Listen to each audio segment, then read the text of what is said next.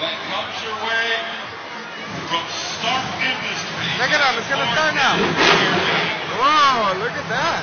And the opposition from the California-based trucks. One is going to win, Abby? The yellow one. The yellow one? Oh, I like the red one. I like the yellow one. Check it out.